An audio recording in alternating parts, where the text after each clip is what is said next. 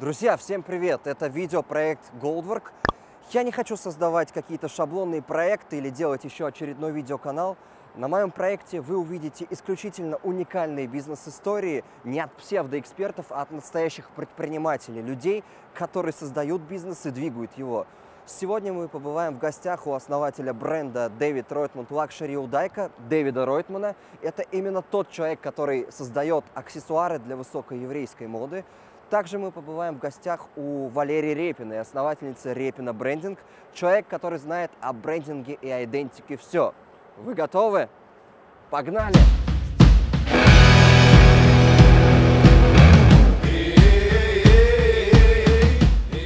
Наступает пауза, он говорит, сегодня в 5 часов дня его сотрудник, я уже вижу, как расширяются зрачки. Я говорю, ну я же предупреждал, что мы быстро работаем. Иначе за два года мир не захватить. Поэтому задача брендингового агентства соединить вот эти вот две составляющие, соединить вкус аудитории и главное провести э, к своего клиента, взять его за руку и показать, как это работает. Да. Я говорю, спасибо, разворачиваюсь и ухожу. Он говорит, извините, можно познакомиться? Я говорю, да, с удовольствием. Я Дэвид Ройтман, это моя продукция. Я говорю, очень приятно. Вообще, на самом деле, все, что мы до этого говорили, брендинг и все такое, на самом деле брендинг – это отрезанные ноги. Вот, и отрезанные ноги у ребенка, что самое страшное. Мы не вернулись в первые полгода инвестиций, но операционно мы стали абсолютно прибыльными. Я много лет прожил в Нью-Йорке, и меня всегда возмущало такое вот своеобразное отношение, назовем его своеобразным, э, евреев к своей традиционной национальной атрибутике. То есть если там часы, запонки, носки, все блистает, все шикарное, все по, по последнему там, значит, слову моды, то когда касается головного убора, который на виду весь день, и на прическу, и после парикмахерской, укладки, то это какая-то смятая тряпочка под названием кипа или ермолка, как бы вы ее ни называли. А когда я занялся бизнесом, то у меня были какие-то возможности, и я решил, что я хочу изменить мир к лучшему. Как, наверное, многие дети хотят, Э, и мечтают. И вот я решил, что пришло время реализовать свои детские мечты. Занялся этим проектом. Не сразу, не, не просто, не быстро, но когда ты веришь во что-то, и идешь с этой идеей до конца, то оказывается это возможно. Ну и, конечно, неплохо бы иметь э, помощь свыше. Мне на самом деле всегда было интересно узнать, как создаются профессиональные бренды, поэтому сегодня мы пришли в гости к Валерии Репиной, основательнице Репина Брендинг, и сегодня она нам расскажет, как создаются крутые бренды, начиная от инициации до конечного завершения и успешного запуска. При этом мы постараемся создать видеомануал, как пошагово самостоятельно прийти к тому, чтобы сделать качественный брендинг и идентику, к кому нужно обращаться и каких специалистов нужно задействовать. Так, где находится офис Валерии? По-моему, мы пришли. Привет. Ага, это такой брейнсторм, да? Ну что ж, друзья, хочу вас познакомить с Валерией. Валерия Репина, основатель Репина Брендинг. Сегодня я буду ее пытать, и она, надеюсь, нам расскажет, как создаются бренды с нуля. Расскажешь? Ох, расскажу. Погнали.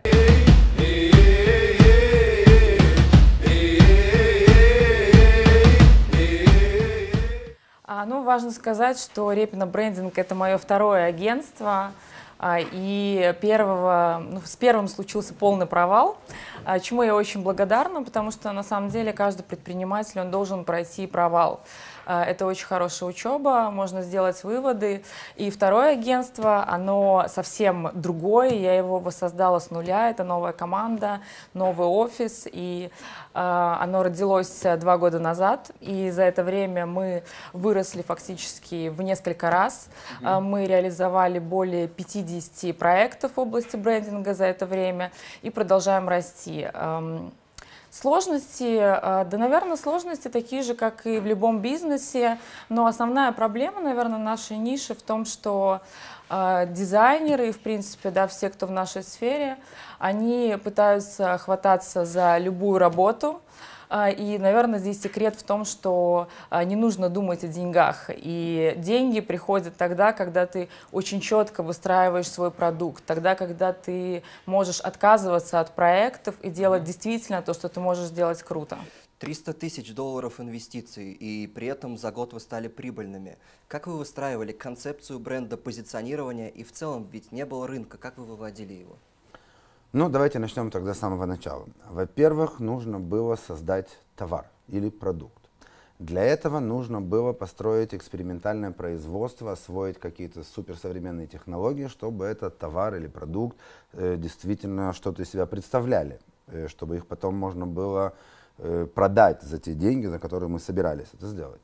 На это ушел первый год это сотни тысяч долларов на оборудование, на эксперименты. Они очень дорогостоящие, потому что ты пробуешь и перепробуешь, и переделываешь, и это тебе не нравится. Ну, наверное, три месяца мы шили кипы, то есть сотни моделей ермолки, пока первая из них э, не удовлетворила мои запросы. И это только ермолки, а что уж там касается всего остального. И мы использовали суперсовременное лазерное оборудование, и 3D-принтер, и ну, и сейчас все это перечислять даже нет смысла. А, создали мы продукт, а вот потом нужно было этот продукт продать. Я предполагал, что это займет годы. Как любой дизайнерский бренд, это время, это привыкание людей, это, ну, опять длинный список э, можно здесь перечислять. Э, но это произошло как-то очень быстро. И буквально через полгода после того, как мы вышли на рынок, а, кстати, здесь, в Москве, это был первый шаг, мы стали операционно прибыльными мы не вернули в первые полгода инвестиции, но операционно мы стали абсолютно прибыльными. И это было нонсенсом для нас. И, конечно же, вдохновило нас на новые экспансии, новых рынков, новых продуктов, новых коллекций. И мы очень быстро превратились в настоящий модный дом. У нас две коллекции в году, только они приурочены не к Новому году и к летним каникулам, а к еврейским праздникам. Это Песах, то есть Пасха по-русски, и э, осенние еврейские праздники, Суккот, Новый год, Рошашана, э, еврейский Новый год. И вы знаете, все уже как-то с нетерпением ждут в преддверии каждого праздника нашей новой коллекции, прибегают, раскупают. Это потрясающе.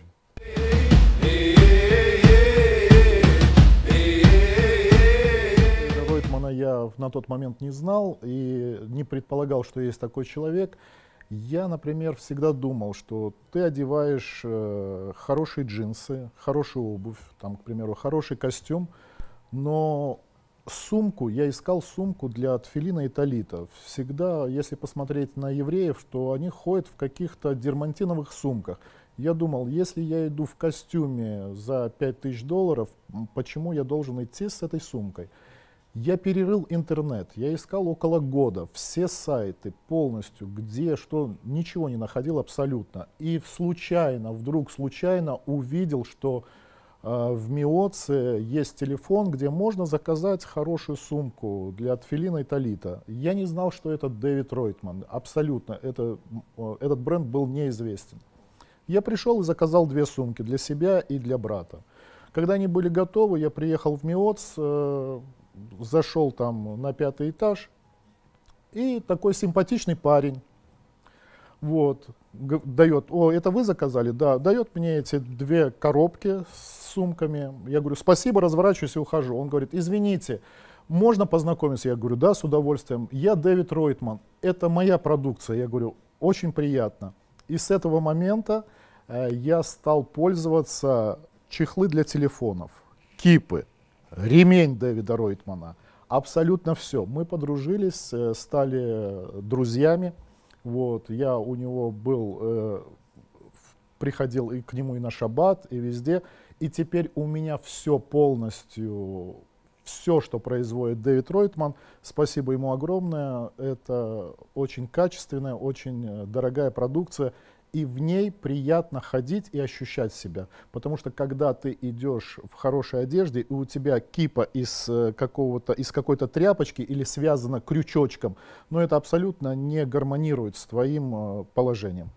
Так что очень рад, что такой человек занял эту нишу, и дай Бог и Всевышний, чтобы ему помог дальше, дальше развиваться. Это имя, этот бренд будет передаваться, я уверен, его детям, внукам и далее поколениям. Да, не ты один, э, кого раздражают брифы, и мы это прекрасно понимаем, поэтому у нас сам процесс брифинга, он построен на основе интервью, то есть э, тебе не нужно ничего делать, ты только разговариваешь э, с нами о своем продукте и о своих задачах.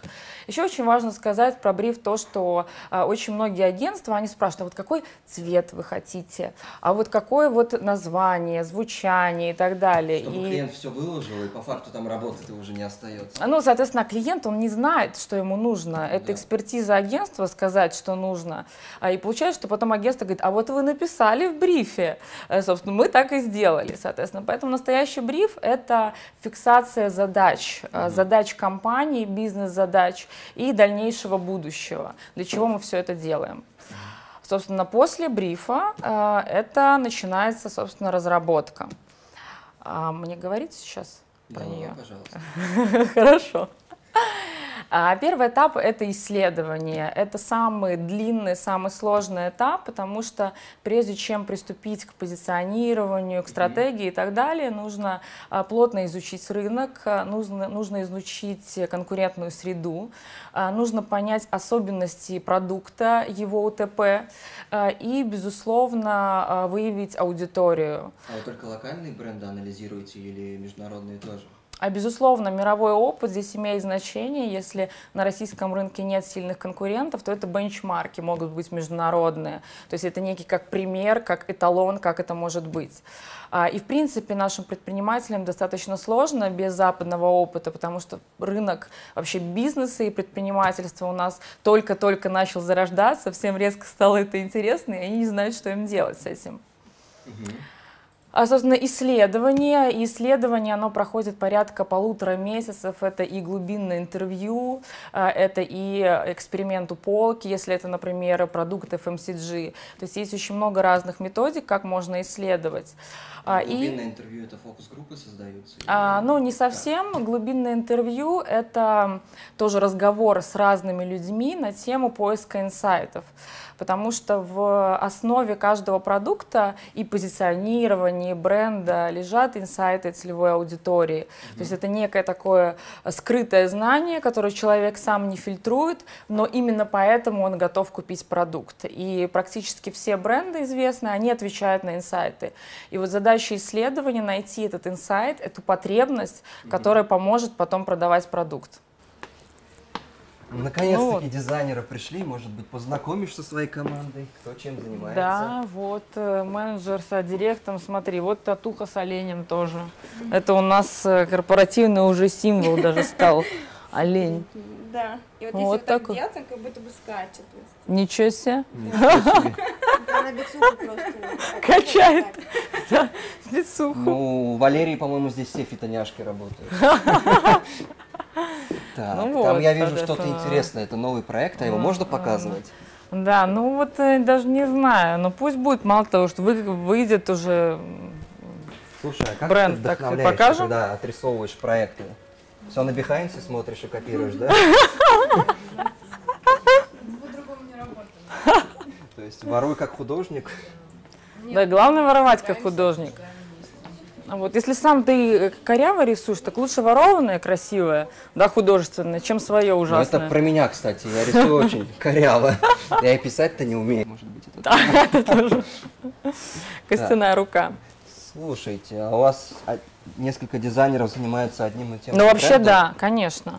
Два-три человека на один. Разные варианты, разное видение. Слушайте, а часто ругаетесь? Спорите? Вы же такие креативные люди. М? Ну, это официальная версия. Давайте вот снимем единственного парня, который здесь работает. Как вам в женском коллективе? Ну, Как вы думаете? Печально. Над вами издеваются. нет? Я, мне кажется, Скажи правду. сам- самый счастливый человек. Дэвид, расскажите про новую коллекцию. Новая коллекция достаточно обширная, поэтому вкратце хотя бы о некоторых ее элементах. Во-первых, мы впервые в истории, как ни странно, создали коллекцию израильского оружия. В миниатюре все стрелковое израильское оружие, которое придумано, произведено и используется в израильской армии. Это, конечно, очень большой ассортимент. Здесь представлено лишь несколько из э, этих э, экспонатов. И, конечно же, израильские солдаты.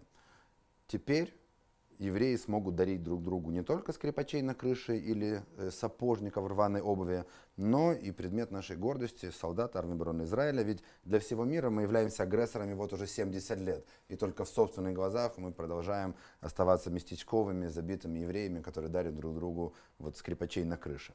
А здесь вы можете увидеть ювелирную коллекцию. Среди э, этих экспонатов есть и новая переплетенная звезда «Лед и пламя». Конечно же, в камеру разглядеть будет тяжело, но вот эта звезда легла в основу совместной коллекции с Валентином Юдашкиным. И э, его идея с камнями и этой звездой вот сыграла так красиво, и получилась целая совместная коллекция. Ну и, конечно же, хотелось бы показать и наши такие особенные, любимые экспонаты – это ремень из лапы крокодила с иерусалимскими львами, с такой вот оригинальной пряжкой цельной. И, конечно же, кипы, с чего мы, собственно говоря, начинали, что стало нашей гордостью. Э, кипа из кожи питона, очень красивые цвета, ведь питона красят в очень яркие, разнообразные разные оттенки. И она очень тонкая, очень легкая и практически не чувствуется на голове. Ну, а для тех, кто любит самое роскошное и дорогое крокодила, вот пример черный крокодил у меня в руках. Ну что ж, здесь можно много и часами рассказывать только о новой коллекции. Среди новых э, экземпляров и костюмные кипы из ткани костюма, так чтобы можно было подобрать себе под костюм, под таксида даже будет такая коллекция. Ну и, в общем, э, остальное, наверное, можно увидеть на сайте, потому что показать здесь все на камеру просто не представляется возможным. Дэвид Ройтман Luxury Judaica относительно новый бренд, потому что он открылся в 2015 году. Как за такой небольшой промежуток времени вы стали настолько популярным и смогли завоевать доверие именно премиум-сегмента? В принципе, это те люди, до которых сложно достучаться. И они, да. Есть так. несколько моментов. И, во-первых, как я сказал, неплохо бы иметь некую помощь свыше. В этом бизнесе я совершенно не записываю э, заслуги на свой счет. Есть необъяснимые совершенно вещи, которые приводят нас к успеху, и они явно феноменальные и необъяснимы с точки зрения банальной эрудиции. А, давайте попробую зайти с такой стороны. Представьте себе, что в мире моды не существует широкой линейки э, модных домов, есть один. Назовем его X, вот чтобы не акцентировать внимание на каком-то там бренде. И когда ты хочешь купить себе модные туфли, ты не можешь пойти в один из магазинов в торговом центре, а ты идешь только в один. Если тебе там не нравится что-то, то ты останешься ни с чем. А не пойдешь в другой купишь дешевле, дороже, красивее, ярче, тускнее, не имеет значения. И тут это именно та ситуация, которую мы создали. На данный момент мы не только первые, но еще и единственные. Уже были попытки нас подделывать, но они все, слава богу, безуспешны. Уверен, что со временем появятся конкуренты. Но нужно понимать, что на сегодняшний день мы первые, и за первыми все-таки останется большая часть рынка. Эм, как только появились модные аксессуары, то те люди, которые одеваются в дизайнерскую одежду, почувствовали потребность одевать, да, такие, иметь такие аксессуары. А как только они начали покупать и заимели такие аксессуары, им тяжело уже отказаться от них, потому что поносив нашу кипу, ты не можешь потом одеть сморщенную тряпку. Да тебе э, самому будет некомфортно уже, даже не важно, что люди о тебе подумают и что тебе скажут. А таким образом мы стали завоевывать, это достаточно маленький, нужно понимать, рынок, и очень быстро стали на одну ступень с такими известными брендами, как Cartier, Montblanc, Montblanc Dupont. И сегодня в магазины, вы можете зайти в магазины в Москве, там будь то Новинский пассаж, или Латте Плаза, или Времена года, и многие другие. Вы заходите в магазин, и там вот представлены там 3-4 бренда, и среди них Дэвид Ройтман. И вот ты заходишь и сам не веришь. Ну вот как, мы на рынке буквально два года, в 2016 году мы вышли на рынок, и, и вот мы уже там стоим. Во-первых, совершенно очевидно, что если бы мы изобрели ремни или туфли, мы бы там не стояли за два года совершенно очевидно, что это благодаря тому, что у нас вот такой уникальный сегмент. Все, конечно же, фирмы и магазины хотят обновить товар, хотят привлечь внимание. Мы для этого, в этом плане для них просто подарок. Э, ну и мы пользуемся этим, они нами пользуются, и все это как-то очень обоюдно и выгодно. И главное, вы знаете, вот этот бизнес очень красивый. Ты никому ничего не втюхиваешь, ты никому ничего там не обещаешь. Вот есть красивая вещь, вот она смотрится, она тебе идет, вот ты ее берешь, вот ее цена. Вот не нравится, не идет, не берешь. И вот, как ни странно, казалось бы, люди покупают дорогие очень вещи, ведь мы далеко не дешевый дом. А, при этом благодарны тебе так, как будто бы ты им это дал в подарок. То есть люди и деньги платят, и благодарны. Ну, я думаю, что тут в том числе благодарность она из-за того, что раньше не было. И вот мы, мы создали вот этот прецедент, и кроме нас ведь не у кого больше купить. То есть если бы мы бы это не продали, для них не пошили, то они бы остались без этого аксессуара. Ну, вот как-то так. А в каких странах вы сейчас представлены? А, Это страны СНГ, это Европа, э, Англия, Франция, э, Бельгия, Чехия. Ну, длинный список, э, в том числе Америка, Канада.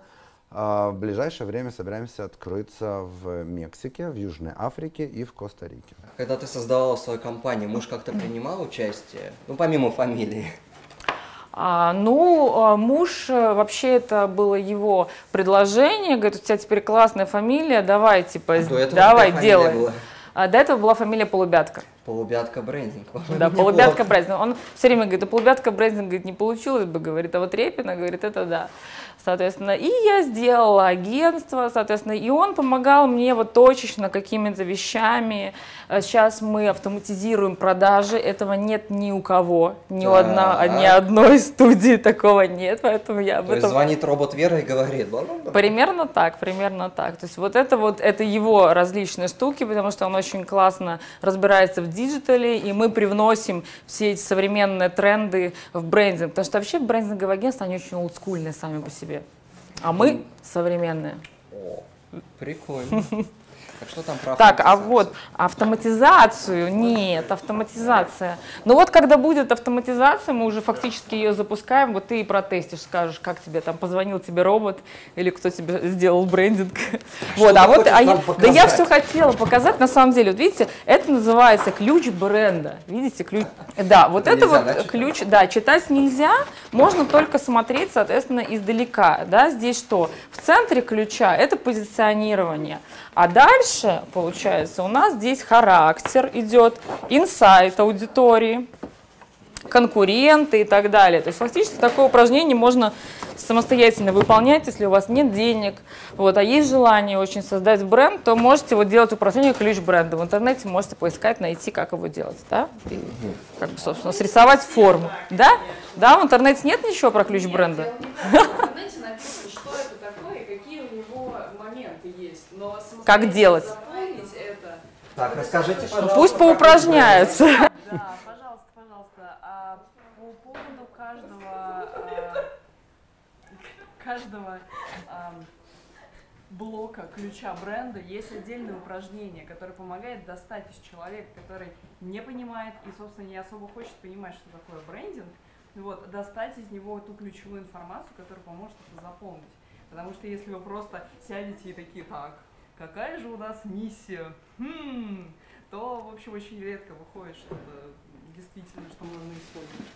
Слушай, а у тебя есть какой-нибудь готовый шаблон, который мы можем дать нашим подписчикам по ключу бренда, чтобы они сами самостоятельно могли составлять какое-то описание, какой блок за что отвечает?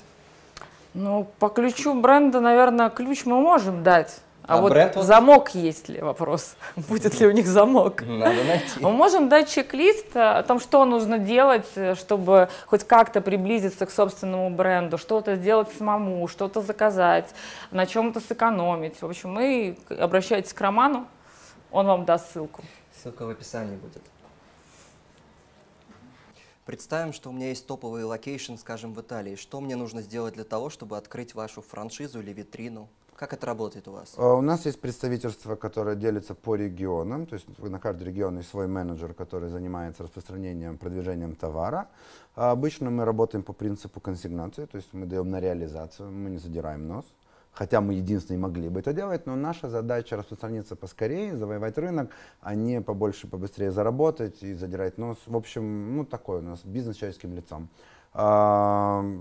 Конкретный магазин или конкретная фирма подписывает с нами договор, выделяют нам витрину э, по нашим запросам. Это определенное местоположение в магазине, определенные полки, определенная подсветка. Если нас все устраивает, то мы заполняем ее товаром, оформляем документы, и оно поступает в продажу. Таким образом, все это происходит очень быстро. У меня есть такой пример. Э, элитный магазин э, в центре Москвы, на Патриарших прудах. Называется «Алмаз», не знаю, можно ли вас рекламировать. А, по своей инициативе предложили нам открыть у них витрину. Я говорю, знаете, мы очень быстро работаем, вы должны это принимать в расчет. Да, да, сказал хозяин магазина, конечно, вот магазин, что вы скажете. Я говорю, прекрасный магазин, мы хотели бы вот эту витрину и вот эту, прям входная группа, вот первое, что бросается в глаза. «Хм-хм», сказал хозяин магазина, ну что ж, раз уж так, то так, и говорит, будем работать. Я говорю, ну хорошо, сейчас 3 часа дня, давайте в 5 часов э, мои сотрудники будут здесь с товаром, с оформленными документами, для того, чтобы... И тут наступает пауза. Он говорит, «В- сегодня в 5 часов дня его сотрудники, я уже вижу, как расширяются зрачки. Я говорю, ну я же предупреждал, что мы быстро работаем, иначе за два года мир не захватить. Он тяжело вздыхает, говорит, ну хорошо, в конце концов, не ему работать, а его сотрудникам в 5 часов, чтобы вы не сомневались, мои сотрудники с товаром были на месте, в 5.15 витрина сияла. Э, так мы за два года захватили мир. Супер. Коллаборация с известными персонами. Александр Добровинский, Валентин Юдашкин. Что это для вас? Это масштабирование вашего бренда или к вам обращаются и говорят, о, крутая продукция, давайте сделаем что-то совместно?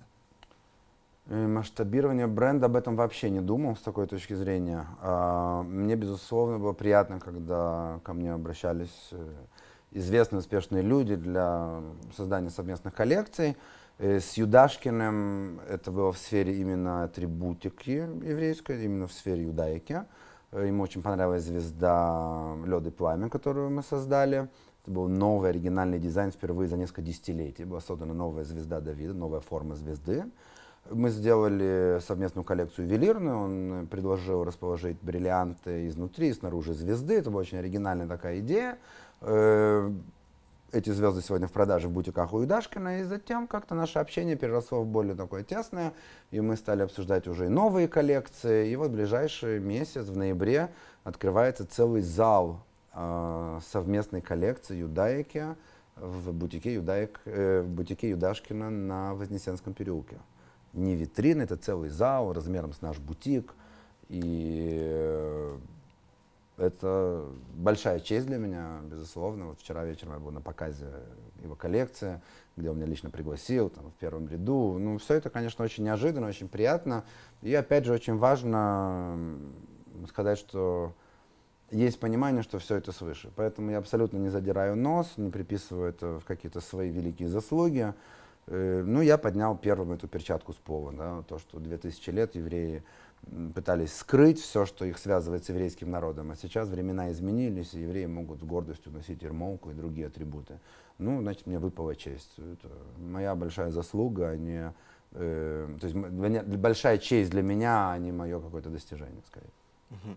Давайте представим, к вам пришел молодой предприниматель и говорит, Дэвид, у меня есть классная идея, я хочу в этом направлении двигаться, но у меня нет бюджета. Что бы вы ему посоветовали? Вы знаете, я читаю лекции, выступаю перед э, бизнесменами, меня иногда приглашают, э, и много разных вот советов просят, э, со своими идеями люди приходят. И у меня вот состоялся такой диалог однажды, э, когда человек говорит, я вот все могу.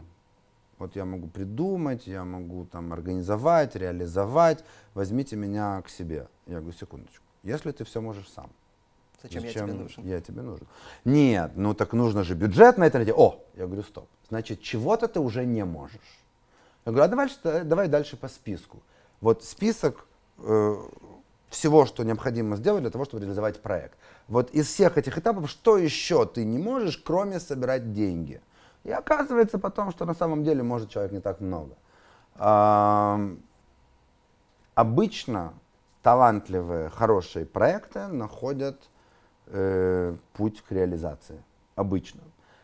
Редки те случаи, когда человек имеет действительно хорошую идею, хороший проект, и он не смог его донести до заинтересованных людей. Происходит ли это той причине, что человек не умеет э, себя рекламировать или объяснить себя достаточно хорошо, или происходит это по той причине, что у него нет достаточных связей, чтобы выйти на нужных людей, тут уже трудно как бы эм, разобраться иногда в ситуации, но чаще всего сам проект еще сырой. Поэтому здесь нужно смотреть на то, что, как говорится, в чайнике, а не на него снаружи. Из этого вытекает следующий вопрос. Как формировать связи? О, как формировать связи? Тут я плохой советчик, потому что э, когда я стал заниматься бизнесом, из-за моей предыдущей деятельности, и журналистом, и общественной деятельности, у меня связи уже были. Эм, Их я не формировал искусственно, это все происходило в рамках моей деятельности, поэтому тут мне трудно дать совет. Но я думаю, что сегодня любое новое яркое привлекает достаточно внимания, чтобы достаточно быстро эти связи обрести. Если ты что-то дейное придумал, если ты можешь это реализовать и красиво упаковать, к тебе придут. Теперь мне интересно поговорить про стартапы. Ну, как ты знаешь, много начинающих предпринимателей, стартаперов, и, как правило, сейчас уже инвесторы требуют MVP, то есть минимальную версию продукта. Но когда в тебя еще не вложили или брендинг не считается, скажем так, целевой тратой на начальном этапе, но все равно нужно упаковать даже это MVP, которое мы выстраиваем, в красивую обертку, чтобы даже при минимальном функционале инвестор в тебя поверил. Если у меня нет бюджета, как мне создать бренд или хотя бы выстроить позиционирование? Есть ли какой-то чекбокс?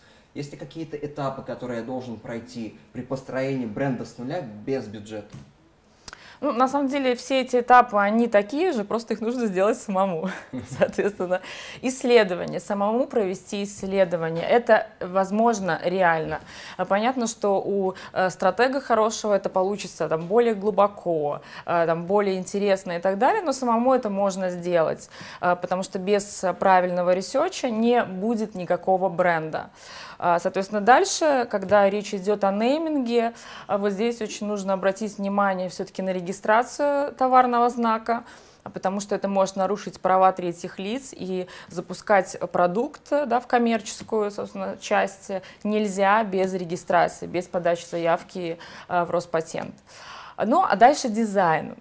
Касательно дизайна, здесь я рекомендую просто написать логотип э, шрифтом DIN, и вы, Шрифт Дин. да, шрифт DIN, собственно, и вы, по крайней мере, ничего не испортите. Это не будет выглядеть ужасно. А, Понятно, что на первом этапе а, очень сложно выделить бюджеты на, на брендинг, и это, наверное, не имеет никакого значения, потому что продукт, он только устаканивается. А у стартапов очень часто бывают пивоты, все меняется каждые там несколько недель, А, поэтому используйте DIN, и будет вам счастье.